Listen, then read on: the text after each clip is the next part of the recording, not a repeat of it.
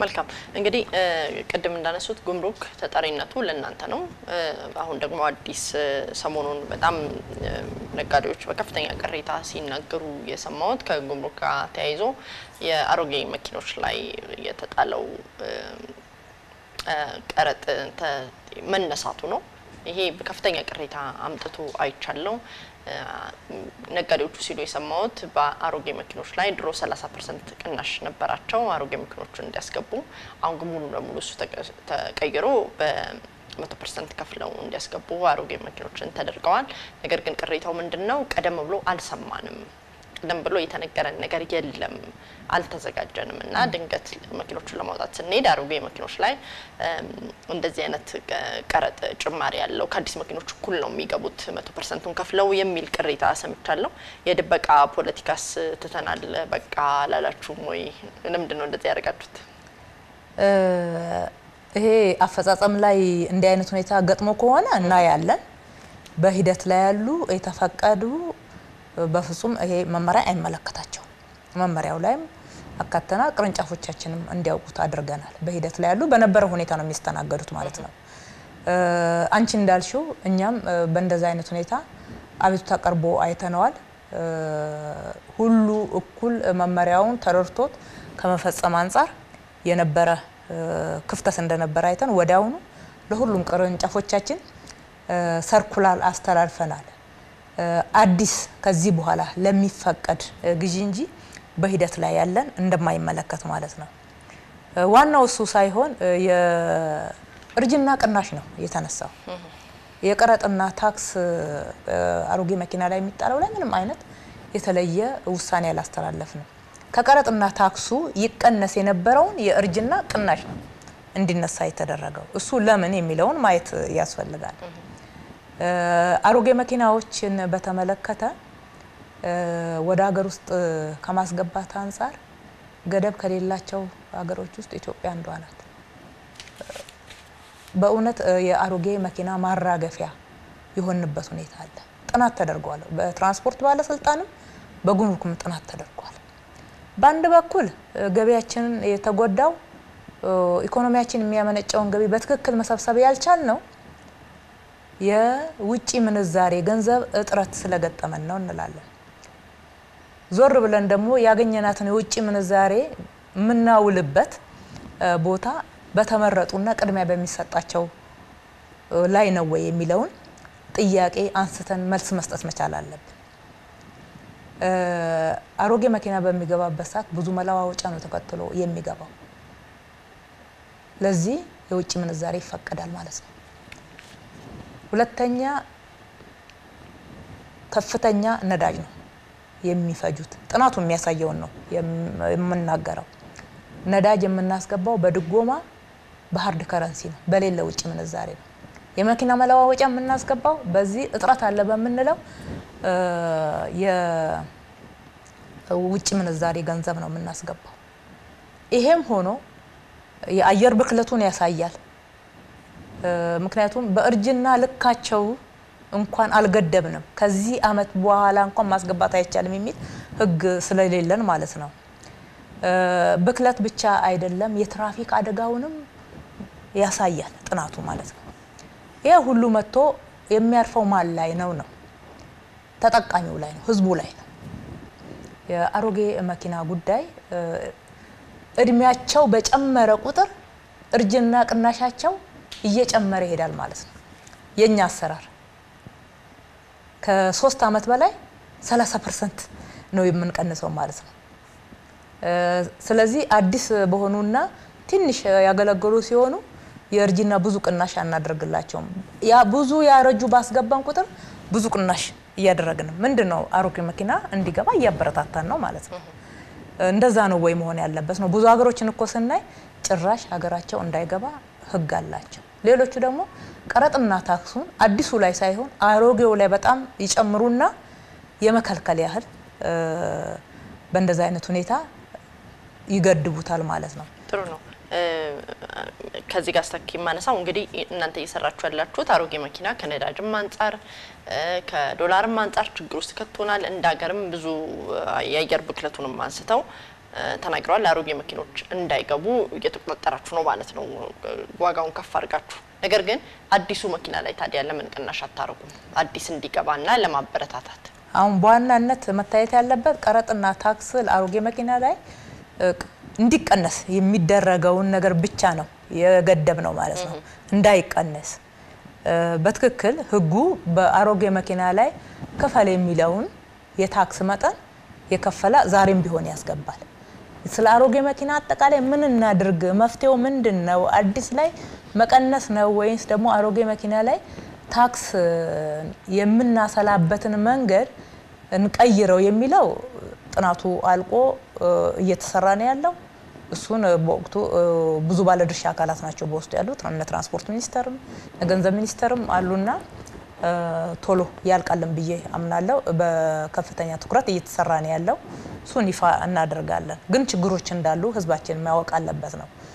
አሁን እዚህ ጋር ያለ ከስሌት አንጻርም እኛ እንደ ጉምሩክ ያየ ነው ከስሌት አንጻርም ብዙ ችግር ስለነበረ ነው ማለት ነው። አንደኛ የምናሰላበት መንገድ የበለጠ አሮጌ መኪናን የሚያበረታታ ስለሆነ ሲተገበርም ለልዩነትና ለተለያየ አድሎ ክፍተት እንደፈጠረ አይተናል በጥናታችን ማለት ነው። እኛን በሚመለከት እንትን ውስጥ ገደብ ውስጥ ቢያንስ አሮጌ መኪና ላይ የሚደረገው የእርጅና ቅናሽ የተለየ አስገዳጅ ህግ በኢትዮጵያ ውስጥ የለምና ስለዚህ ለጊዜው አቁመን ጥናቱ አሁን በተጠናው መንገድ ህጉ ዋናው ህግ ይወጣል። በዛ መንገድ ስለ አሮጌ መኪና እንደ ኢትዮጵያ አንድ ነገር መወሰን ያለብን ይሆናል። የትራንስፖርት አማራጭ እኮ ግን ምንም አላደረጋችሁም። አሮጌ መኪኖቹ አይግቡ፣ ሰዎችም እንዳይገዙት እንዳይደፍሩት፣ luxury ም ነገር ሊሆን ነው ወደፊት። እንግዲህ አሁን ሰዎች አሮጌ መኪና መንዳት አይችሉም። ቀረጥ የነበረው 30 percent ቅናሽ ወደ መቶ percent እንደ አዲስ መኪና ይገባል። የእርጅና ቅናሽ አዎ የእርጅና ቅናሻቸው የለም ተነስቶላቸዋል። ከአዲስ መኪና እኩል ይከፍላሉ ማለት ነው። አዲሱ መኪና ላይ ደግሞ ለማስገባት ማበረታቻዎች የሉ። የአዲስ መኪናና የአሮጌ መኪና ቀረጥ አሰላል እና ልክ እንትኑ መጠኑ እኩል አይደለም። ሆነም ቀረም መኪና እየተወደደ መምጣቱ አይቀርም። አዲሱ ላይ ደግሞ ገና ጥናት እያደረጋችሁ ነው። አዲሱ ላይ ሰዎች አዲስ መኪና እንዲነዱና ያለውን እንደ ሀገር ያለውን crisis ለመፍታት አላዘጋጃችሁም። እሱ ብቻ አይደለም፣ ትራንስፖርት አማራጮችም ገና በደንብ አልተዘርጎም እና እሱስ ላይ ምንድን ነው የምታደርጉት? ዝም ብሎ መዝጋት ብቻ ነው ወይ? አይ አይደለም፣ አይደለም። አንደኛ እቺ መመሪያ አልዘጋችም። ቅድም እንዳልኩት አሮጌውም አዲሱም ይገባል፣ ይፈቅዳል። የእርጅና ቅናሹ በሚነሳበት ሰዓት አስመጪው ላይ የተወሰነ መጠን ገንዘብ ይጨምርበታል። ይሄ እውነት ነው። ይሄ ብቻ ነው እንጂ እስካሁንም አታስገባም የሚልም ነገርም የለም። ሁለተኛ ያነሳሽው ቶሎ ብሎ አሁን እንደ አማራጭ እየተሰራ ያለውን ሕግ ቶሎ ብሎ ማውጣት ነው። ሕጉ እየተሰራ እንደሆነ አውቃለሁ። ከጥናት ያለፈ ነው። ጥናቱ ታይቶ ጸድቋል። ወደ ሕግ ረቂቅ ደረጃ ላይ ነው ያለው። ከዛ ባለፈ ግን ዋናውና መሰረታዊ ነገር የትራንስፖርት አማራጭ ነው። የትራንስፖርት አማራጭ ላይ የትራንስፖርት ሚኒስቴር በጣም እየሰራ እንደሆነ አውቃለሁኝ። ዝርዝሩ ምንድን ነው የበለጠ እዛ ማየቱ ጥሩ ነው የሚሆነው ብዬ አስባለሁኝ። ስለዚህ ትክክለኛ አሮጌ መኪና በጣም ያረጁ መኪናን ወደ ኢትዮጵያ ማስገባት የትራንስፖርት አማራጭን ይፈታል የሚል እንደዛ አይነት ጥናት የለንም። የትራንስፖርት አማራጭን በሱ ነው ወይ የምንፈታው? ጉዳቱን እኮ በጥናቱ እኮ አየ ነው ጉዳቱን በሰው ሕይወት አደጋ እየደረሰ ዜጎቻችን እየሞቱ መለዋወጫውን ለማስገባት እችኑ ያለችን የውጭ ምንዛሬ እየተሻማ ያለንን ነዳጅ በድጎማ ከህዝብ የህዝብ ገንዘብ ነው በድጎማ የምናስገባውን ነዳጅ ፍጆታው በጣም እየጨመረ በየጊዜው የምናስገባው ነዳጅ በውጭ ምንዛሬ ነው። እሱ እየጨመረ ሌላውንም ጉዳት አብረን ካላየ ነው ይሄኛውን ብቻ ከውስጡ መዘን የምናይ ከሆነ ትክክለኛ ውሳኔ ላይ ስለማንደርስ ነው። ሁለቱንም እንዴት አድርገን እንፍታው? በዚህ በኩል ያለውንም ጉዳት መቀነስ አለበት። dumping መሆን የለበትም ኢትዮጵያ። ይሄ ነው። ሁለተኛ የትራንስፖርት አማራጩ ደግሞ ፈጠን ብሎ የተጀመረው ነገር ማለቅ የሚችልበት ሁኔታ ትኩረት ተሰጥቶት ሊሰራ ይገባል። ትክክለኛ ነው። እሺ የመጨረሻ ጥያቄ ነው ከዚህ ጋር ማነሳው ከዚሁ ከመኪናዎች ጋር በተገናኘ ነው። እንግዲህ የሰማሁት ቅሬታ ሰዎቹ ሲናገሩ መኪና አሮጌ መኪናዎችን አስመጥተው የሚሸጡ ሰዎች ሲናገሩ ሳናቅ ለማውጣት ሄደን ነው ክፍያው በድንገት የተነገረን ነው። እርስዎ ደግሞ እንደሚሉኝ በሂደት ላይ ያለውን አይመለከትም ይላሉ። ነገር ግን እውነት የሆነው ነገር በሚዲያም ሰዎች ወጥተው ሲናገሩ የሰማሁት ቅሬታቸውን ከብዙ እንደውም በጣም ጩኸት ባለው ድምጽ ነው ሲናገሩ የነበረው። እንደዚህ ክፈሉ ተብለን አልሰማንም ነው። ይህን ምን ማሻሻያ ታደርጉላቸዋላችሁ? ወይም የእርስዎ እውቀት እንደዛ ተብሎ የተነገረበት ሁኔታ ስላለ መመሪያው አዲስ ስለሆነች ሰራተኞቻችንም በደንብ ያልተረዱት ነገር ይኖራል። እንደዛ ሳይሏቸው ከመሬት ተነስተው አሉ ብዬ ስለማልገመት ማለት ነው። ስህተት ነው። በሂደት ላይ ያለውን አይመለከትም። ስለዚህ እሱ እንዲስተካከል አድርገናል። መልካም። እሺ ወደ ሌላ ጥያቄ ሳልፍ እንግዲህ በሀገሪቱ ውስጥ ያለ የኃይል መቆራረጥ ነበረ። አሁን ለይቶለት ጭራሹኑ ወደ በፈረቃ ሆኗል። ያው ግድቡ ችግር ገጥሞታል። የውሃ እጥረት አለበት። ሆነም ቀረም ፋብሪካዎች ይቆማሉ፣ ንግዱ ይቀዛቀዛል። በመብራት በኃይል የሚሰሩ እንቅስቃሴዎች በሙሉ ይቆማሉ። በዚህ ውስጥ የገቢ አሰባሰባችሁ እንዴት ይረዳል ነጋዴውን? እንደ ሀገር እናንተን ብቻ ሳይሆን ወይም ደግሞ የገቢ ሚኒስትሩን ሳይሆን ኃይል መቆራረጥ ባለበት ሁኔታ ያሉ የስራ መቆሞችን በምን ታካክሷቸዋላችሁ? እንግዲህ ይሄ ለነጋዴው ብቻ ሳይሆን አጠቃላይ ሀገራዊ ሁኔታ የገጠመን ነው። የእኛ ገቢ አሰባሰብም ላይ ምንም ተጽዕኖ የለውም የሚል እምነት የለንም። ምክንያቱም ብዙ አምራች የሆኑ ፋብሪካዎች አሉ። ሌላውም ነጋዴ እንደዛው ኤሌክትሪክን ተጠቅሞ የሚሰራ በመብራት ኃይል በኩል አንዳንዶቹ ላይ እንደ ተቋሙ እንደ ካምፓኒ ሁኔታ ማለት ነው በተለይ ብዙ ከያዛቸው ስራዎች ከሀገራዊ ጠቀሜታው ከሚያስተዳድረው ሰራተኛ ከእንደዚህ ከእንደዚህ አንጻርና ብልሽት የምርቶች ብልሽት እንደዚህ እንደዚህ እንዳይገጥመው የተደረጉ ጥንቃቄዎች ያሉ ይመስለኛል ሲሰጡ ከነበሩትን ማብራሪያዎች።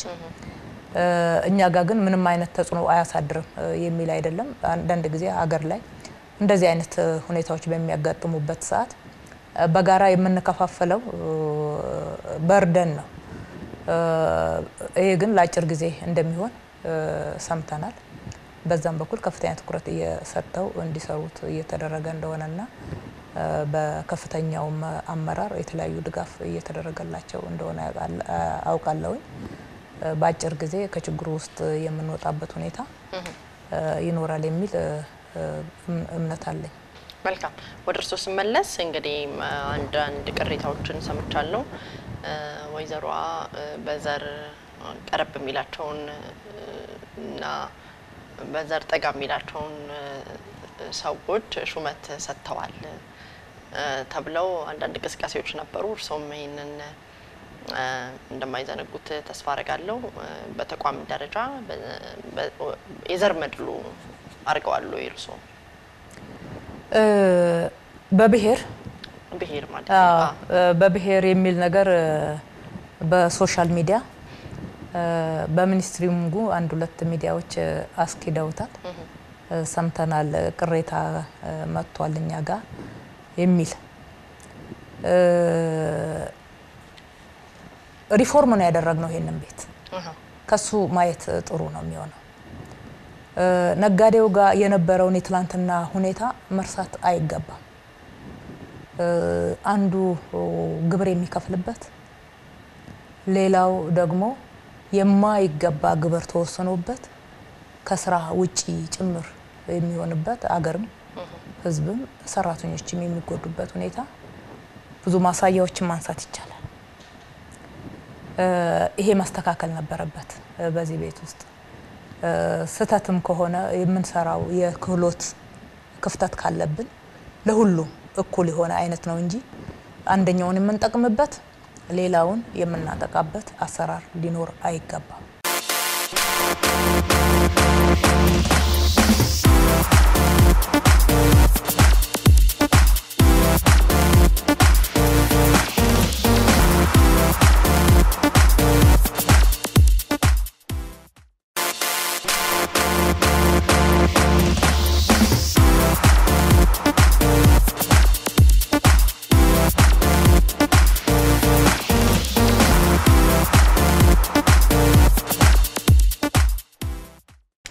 ለቢሮ አድርተዋል አላደሉ? አላዳላሁም፣ አላዳላም። እንደዚህ አይነት ስብዕናም የለኝም። ለምንድን ነው የማዳላው? የኦሮሞ ሕዝብ ጥያቄ እኮ በአድሎ ልጠቀም አይደለም፣ የእኩልና ፍትሐዊ ተጠቃሚነት ጥያቄ ነው ይዞ ወደ ሜዳ የወጣውና በብዙ እሳት ውስጥ ያለፈው። ሌሎችም ኢትዮጵያውያን ጥያቄያቸውን የአድሎ ነው ብዬ አላምንም። በአድሎና በፍትሐዊነት በኢፍትሐዊነት ለህዝብ ጥቅም ማስገኘትም አይቻልም። ስለዚህ ይሄ ዘመቻ ምንድን ነው የሚለውን ማየት ያስፈልጋል። እንግዲህ ሲነሳ እንደሰማ ነው ከአጠቃላይ ከመስሪያ ቤቱ አመራር ውስጥ የተወሰነ ቁጥር በስማቸው ኦሮሞ የሆኑትን በመቁጠር አድሎ ተደርጓል፣ መስሪያ ቤቱን በኦሮሞ ሞላቸው የሚል ክስ ነውና እንዲህ ወርጄ ቁጥር ባላነሳ ደስ ባላይ ነበረ። ነገር ግን እየተነሳ ያለው በዚህ መልክ ስለሆነ ህዝብም የተድበሰበሰ እንዳይመስለው መረጃ ማግኘት ስላለበት ትንሽ መረጃ መስጠት እወዳለሁ። አጠቃላይ በመስሪያ ቤታችን ያለው አመራር ቁጥር እስከ ቡድን አስተባባሪ ያለውን ካየን መካከለኛ አመራሩን ጨምረን ከአንድ ሺህ በላይ ነው። ከዚህ ውስጥ የኦሮሞ ቁጥር 26 percent ብቻ ነው። 26 እጅ ነው። ተገፋ እየተባለ በተለያየ መንገድ የሚሰራጨው ደግሞ የአማራ ብሔር ነው። ከዚህ ውስጥ የአማራ ብሔር ቁጥር 41 እጅ ነው። የቱ ጋር ነው አድሎ የተደረገው? ሌሎችም ብሔር በዚህ ሰዓት ማንሳት አልፈልግም። ምክንያቱም በፉክክር መልክ በሚመስል መንገድ እየተነሳ ያለው በአማራና በኦሮሞ መካከል ስለሆነ ትክክል አይደለም ብዬ አምናለሁኝ። ላቋርጦትና በዛው አንድ ላይ ጠቅለል አድርገው ይመልሱልኛል። እንግዲህ በሰፊው እንደሚነገረው የኢትዮጵያ ፖለቲካ በፓርቲ ደረጃ በሶስት ፓርቲዎች የሚዘወር በትልልቅ ፓርቲዎች በዋት በኦህዴድ በኦዲፒ እና በአዴፓ የሚዘወር ነው እና ፖለቲካውን የሚያሽከረክሩት እነሱ ናቸው ይባላል። ነገር ግን በዚህ መሀል የሀረር ሰው የሶማሌው ጋምቤላው ከዚህ ተፈናጥሮ ከስልጣን የሚወጣበት ምክንያቱ ምንድን ነው? እንደው የመጣንበትን መድሎ ኦዲፒ ብቻ ገቢዎችን ያዘው ለሚለው ትክክል አለመሆኑን ለማሳየት ነው እንጂ ዋናው እዚህ ጋር የመስሪያ ቤቱን ተልእኮ መፈጸምና ማስፈጸም መምራት መቻሌ ነው እንጂ ያመጣኝ የኦዲፒ አባልነት እኮ አይደለም ያመጣኝ። ድርድር ስንሰራ የሰራ ነው እኛ በህግ ነው ህጉ 155 ደንብ 155 2000 ዓመተ ምህረት የወጣ አዲስም አይደለም ያወጣ ነው። እሱ ላይ ድልድል እንዴት ተመልሶ ማዋቀር እንዳለብን በይፋ ተቀምጠዋል። መመሪያ ወጣ በብቃት አሁንም ቢሆን ጥንቃቄ መደረግ አለበት ብዬ አስባለሁኝ። ምደባውን የሰራ ነው በቀደም ብዬ እንዳነሳሁት በታህሳስ ወር ነው። በታህሳስ ወር በትክክል ምደባችንን ጨርሰን ህግና አሰራርን መሰረት አድርገን ሰራተኛን አወያይተናል። ውጪ ላይ ለጥፈናል። ውጤቱን ቅሬታ ያላቸው ቅሬታ እንዲያቀርቡ አድርገናል ለቅሬታ ኮሚቴ። በቅሬታ ውጤቱ መሰረት ቅሬታው መታየት ያለበትና ምላሽ ማግኘት ያለበት እንዲሻሻልለት ተደርገዋል። ከዛ ውጭ ደግሞ እንደ ደረጃ እድገት ቆጥረውት የእድገት ጥያቄ የጠየቁትን ሰራተኞች ቅሬታችሁ ምላሽ አላገኘም ብለን አወያይተናቸዋልም ውጭም ላይ አውጥተን ለጥፈናል። ምንም የተደበቀ ነገር የለውም ማለት ነው። ስለዚህ በታህሳስ ይሄ ከተደረገ አሁን ከሶስት ወር በኋላ ዘመቻው ለምን በዚህ መልክ ወደ ሚያዝያ መጋቢት መጨረሻ አካባቢ ተጀመረ የሚለውን ማየት ተገቢ ነው የሚሆነው ማለት ነው። አንድም እየተነሳ ያለው የተነሱት ከኃላፊነት የአንድ ብሔር ናቸው እንደዚህ እንደዚህ የሚል ነው አይደለም። ከሁሉም ብሔር ውጤት ማምጣት ያልቻለ ሁሉም ተነስቷል። ውጤት ማስመዝገብ እኮ ይገባናል። ውጤት ካላስመዘገብን እዚህ ምን እንሰራለን? የተሰጠን ኃላፊነት ገቢው በትክክል እንዲሰበሰብ ህገወጥነትን እንድንዋጋ የሀገሪቷ ኢኮኖሚ ማደግ የማሳደግ ኃላፊነታችንን እንድንወጣ ነው። ስለዚህ ከየትኛውም ብሔር ይሆን ውጤት ያላስመዘገበ ተገምግሞ በግምገማው ውጤት መሰረት ከኃላፊነት ተነስተዋል። ይሄ ነገም ወደፊትም የሚቀጥል ጉዳይ ነው። በመጋቢት ወር ታስታውሺ ይሆናል የተለያዩ በህገ ወጥነት ላይ የተሰማሩ ነጋዴዎች ወይም ደግሞ የንግድ ድርጅቶች ወደ 135 የሚሆኑ ግብር ያጭበረበሩ በተለያየ ህገ ወጥነት ላይ የተሰማሩ ብለን እርምጃ ወስደናል። ወደ 105 ሰዎችም ታስረዋል። መግለጫ ሰጥቻለሁ። በማግስቱ ነው፣ አንድ ሳምንት በኋላ ነው የዘመቻ የተጀመረው። ይህንንም ማስተዋል ይገባል። ምናልባት እየሰራን ያለነውን ስራ እንዲህ አይነት ዘመቻ በማድረግ ማሸማቀቅ የሚታሰብ ከሆነ እኔም ባልደረቦቼም በዚያ አንሸማቀቅም። አንድ ሁለተኛ፣ ይሄ የለውጥ አመራር ህዝቡን በፍትሐዊነት አይመለከትም፣ አድሏዊ አሰራርን ይከተላል በማለት ህዝቡ ፊት ተቀባይነትን ለማሳጣትና ጥርጣሬ ለመፍጠርም ታሳቢ ያደረገ ዘመቻ ከሆነ አይጠቅምም። እውነት ይገለጣል። ለጊዜው ብዥታ የሚፈጥር ነገር ቢኖር እንኳ እየተገለጠ ይሄዳል። ህዝብ ደግሞ ከእውነት ጎን ነው የሚቆመው። ሶስተኛ ጥላቻ አይጠቅም። በጥላቻ መንገድ የምናደርገው የተለያየ የተገኘንበትን ብሔር እየቆጠርን በብሔር መስተዳደብ እንደዚህ አይነት ነገሮች ዛሬ አይመጥኑንም። አይመጥኑንም ብቻ ሳይሆን ትልቅ ጉዳት ያደርሳል። ጉዳቱ ደግሞ የሁላችንም ነው የሚሆነው። ይህንንም የሚደግፉ አንዳንድ ሚዲያዎች አይቻለሁኝ። የአንድና የሁለት ሰው ወሬ ሰምተው መጥተው ወደ ተቋሙ ምንድን ነው የተሰራው፣ እውነቱ ምንድን ነው፣ እስኪ ማስረጃውን ብለው ማየትና ትክክለኛውን ነገር መዘገብ ሲችሉ ከአንድ ከሁለት ሰው ሀሜት ወይም ደግሞ የተለያየ ክስ አዳምጠው እሱን ለህዝብ ማሰራጨት ትክክል አይደለም። የሚዲያ ስነ ምግባርም አይመስለኝም። ጥንቃቄ ማድረግ ያስፈልጋል። ኃላፊነት በተሞላው መንገድ መስራት ያስፈልጋል።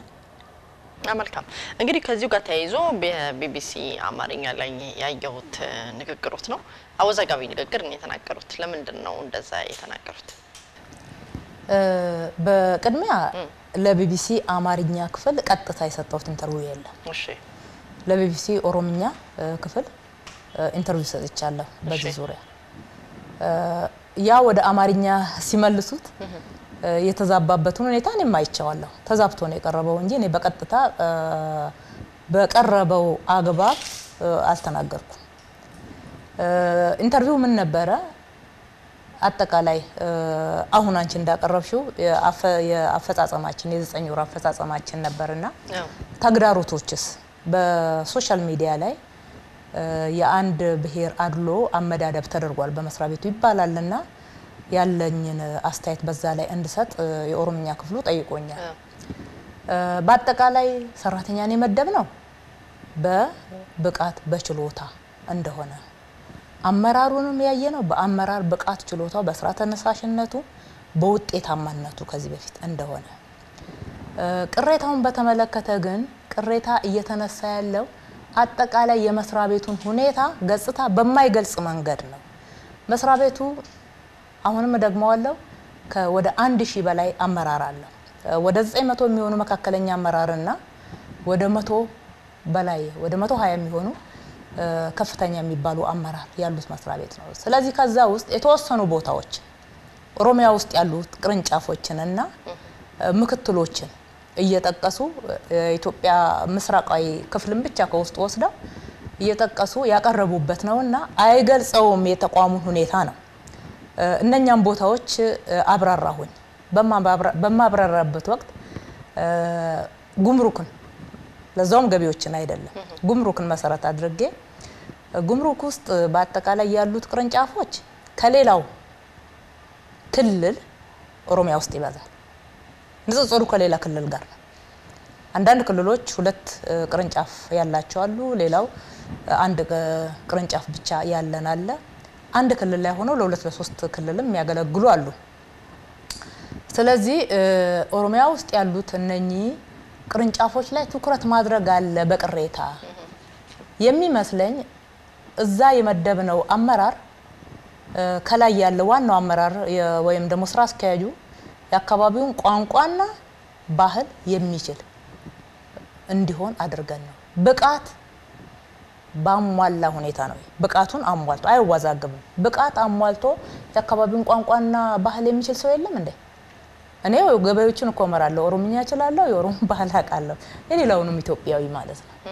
እንደዛ ማለት ነው። ምንም የሚጣረስ ነገር አልነበረውም።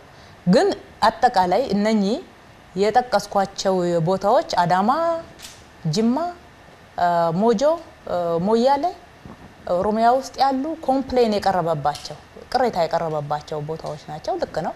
እዛ ቦታ ላይ ያሉ አመራሮች ኦሮሞ ናቸው። ይሄ ማለት ባህር ዳር ውስጥም በተመሳሳይ ነው። ኮምቦልቻ ላይም በተመሳሳይ ነው ያለን። መቀሌ ላይም በተመሳሳይ ነው ያለን። ሌሎችንም በምንወስድበት ሰዓት ድሬዳዋን በምንወስድበት ሰዓት ሌሎችንም እንደዛ መውሰድ እንችላለን። ቅርንጫፍ ያሉበትን ቦታ ይህንን ማድረግ ለራሱ ለስራው ስንል ነው። ብዙ ኃላፊነት ቦታዎችም ሲሰሩ የነበሩ ሰው ስለሆኑ አሁን ሀገሪቱ ያለችበትን ሁኔታ ጠይቆታለው። የገበያው መቀዛቀዝ ቅድም እንዳነሳ ነው፣ የስራ አጦች መበራከት፣ የዶላር እጥረት፣ የኑሮ ውድነትን ጨምሮ በጥቅሉ በጠቅላላው ሲነሳ እናንተ ላይ ኢህአዴግ አልቻለም አልቻላችሁም ትባላላችሁ። መልሳለሁ። ስለዚህ በለውጥ ሂደት ብዙ ተግዳሮት አጋጥሞናል። ለውጡን የሚደግፍና የማይደግፍ የተለያየ አካል መቼም በለውጥ ውስጥ ያጋጥማል። አጋጥሞን አለም ካልሸፋፈነው በስተቀር ማለት ነው።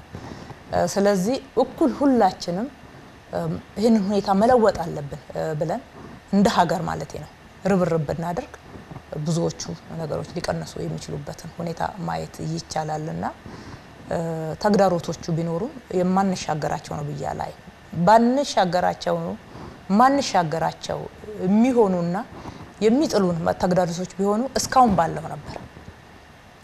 በአሁኑ ጊዜ ብዙ ነገር እኮ ተቀርፏል።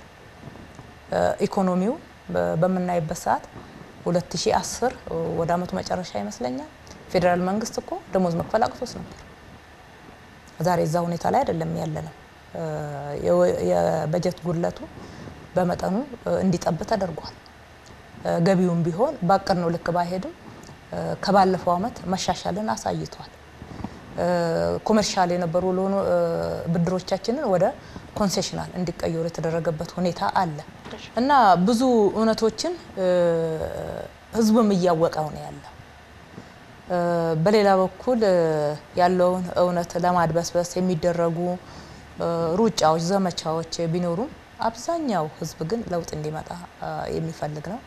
ለለውጡ የሚሰራ ነው። አመራሩን በዛ ልክ ጠንክሮ ብዙ ነገሮችን ክፍተቶችን መዝጋት እየቻለ ነው ያለው። ሁሉም ነገር ግን ባንዴ ልንቀርፈው አንችልም። የብዙ ነገሮች ድምር እዳ ነው በአሁኑ ሰዓት በአንድ ጊዜ እንዲቀረፍ ጥያቄ እየቀረበ ያለው ግፊትም እየተደረገ ያለው ህዝባችን ግን እየተረዳ ነው ብዬ አምናለሁኝ። ይሄ ካልሆነ ጉዳቱ ለሁላችንም ስለሆነ በእንደዚህ አይነት ሁኔታ መቀጠል የለበትም የሚሉ ብዙ ስሜቶችን፣ ብዙ ድፍረቶችን፣ ብዙ የውይይት መድረኮችን እያየን ነው። ይሄ ለውጥ ነው በራሱ ማለት ነው። እውነትን ገልጠን አብረን መስራት ያለብንን ተያይዘን ከህዝባችን ጋራ በመስራት እንጂ አሁን ዛሬ ብናድበሰብሰው ነገ ተመልሶ እንቅፋት መሆኑ አይቀርምና የነበሩ ችግሮች ተደማምረው ዛሬ ላይ ተግዳሮት አብዝተዋል። ብዙ ነገሮች ግን እየተሻሻሉ ናቸው፣ እየተሻሻሉ ነው ያሉት። እነኚህ ማሻሻሎች እየቀጠሉ ሊሄዱ የሚችሉ እንጂ የሆነ ቦታ ላይ የሚያስቆሙን አይደሉም። እሺ እኔ በተመልካቾች ስም በጣም ለዚህ ቃለ መጠይቅ ፈቃደኛ ስለሆኑ ጊዜዎትን በሙሉ ስለሰጡኝ በጣም አድርጌ አመሰግናለሁ። መልካም እድል እመኝሎታለሁ። እግዚአብሔር ይስጥልኝ። በመጨረሻ ሊሉ የሚፈልጉት ነገር ካለ እድሉ ልስጦትና እኔ ጥያቄዎችን በሙሉ ጨርሻለሁ። በጣም አመሰግናለሁ። እኔም በጣም አመሰግናለሁ። መልካም ጊዜ። እሺ እሺ ተመልካቾቼ ፕሮግራም በዚህ ጨርሻለሁ። ሳምንት በሌላ ፕሮግራም በሌላ እንግዳ እስከምንገናኝ በያላችሁበት ጤና ይስጥልኝ።